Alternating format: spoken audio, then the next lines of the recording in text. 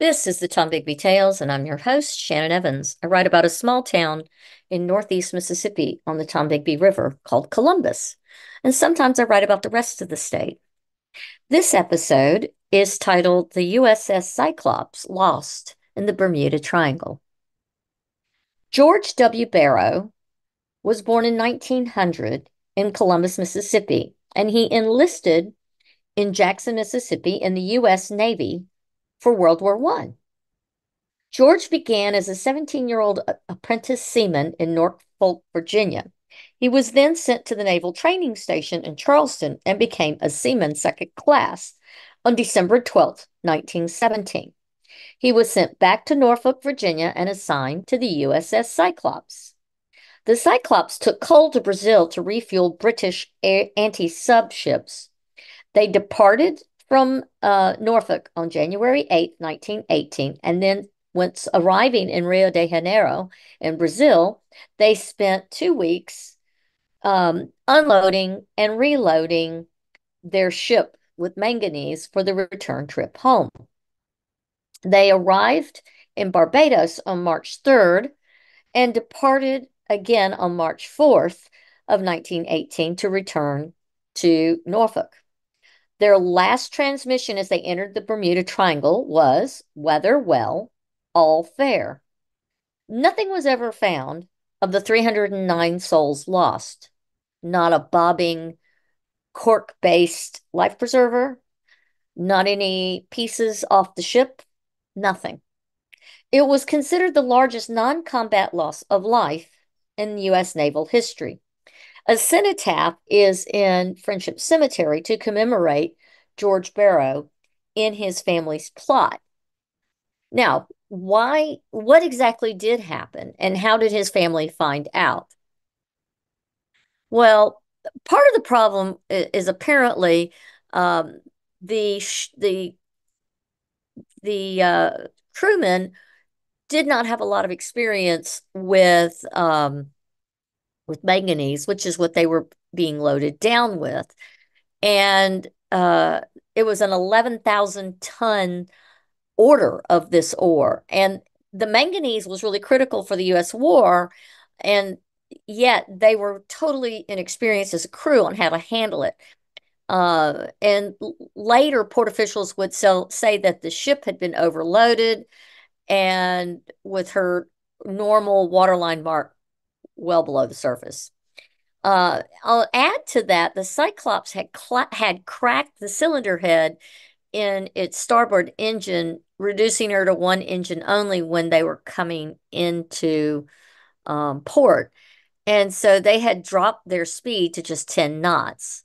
The captain, John Worley, um, had set out on February the 22nd for a direct trip to Baltimore Harbor in the Chesapeake Bay, intending to have that engine repaired when he got back from Brazil. Instead, they made an unscheduled side trip to Barbados, arriving on March 3rd. While there, Worley had to go into the U.S. Embassy and he visited with the American ambassador, Brock Holst Livingston. And there they took on more coal and a supply of water, adding to their already greatly overloaded ship. Uh, and it's possible he actually was trying to find somebody to fix the broken engine there. In any case, they left Barbados the next day, heavily overloaded and limping along on just that one engine. And they were never seen again. When they were reported overdue at Baltimore, the Navy sent out a search looking for them up and down the East Coast, but they couldn't find any trace of the ship or her crew. And so it still remains the largest non combat loss of life in U.S. naval history. Now, what are some of the theories of what had happened? Well, it could have been ambushed by U boat and torpedoed. Um, there, though there are no records from the Germans showing the U boats were operating in that area at that time. Another theory is that the ship's captain, Worley, who was uh, born in Germany, his name was originally Johann Friedrich Weichmann, had entered the U.S. illegally. Uh, he jumped a German freighter in San Francisco Harbor in 1878. So he'd been in the U.S. a long time. Um, but Livingston said uh, that the, the, ambassador to Barbados said that uh, Worsley was not very well liked by uh, the ship's crew, and and that even though lots of people on the crew had Germanic names, it was still an anti-German time. There was a lot of propaganda, and perhaps the crew mutinied and deliberately took over the ship and turned it over to the German Navy. But there's no records that show anything like that. Another theory is that the manganese ore that they carried, uh, which was highly explosive, uh, could have produced a fire that engulfed the ship and it sank. Um, but the even more importantly, perhaps the inexperience of the crew and the, resulted in that misloading of that shipment, and it could have shifted during the trip um, due to storms and high seas, and just unexpectedly rolled over and capsized.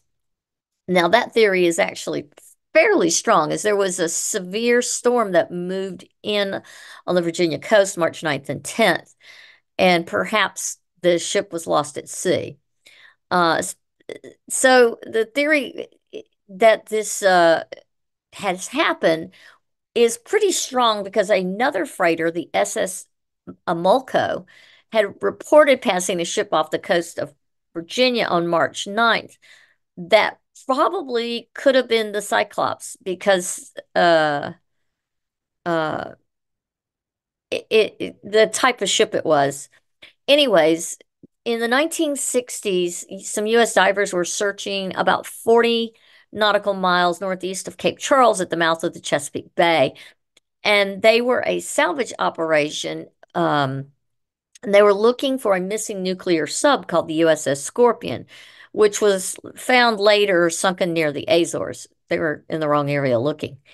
Regardless, when Dean Hawes, the Navy diver, was uh, at the bottom uh, at about 180 feet deep, he saw a ship, uh, another shipwreck that he was not familiar with the shape of the ship, and it was a very odd uh, structure with iron beams and lots of cargo arms. And when he later was shown a picture of the USS Cyclops, he said it that the Collier's design was something that he had seen on the ship that he saw at the bottom of the sea.